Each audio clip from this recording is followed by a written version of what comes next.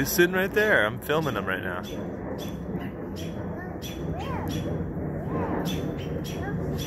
He's right there at the tree at the same spot.